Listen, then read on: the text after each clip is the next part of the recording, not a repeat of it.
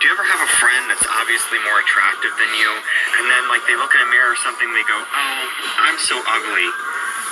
Like, hon, if you're ugly, then what am I?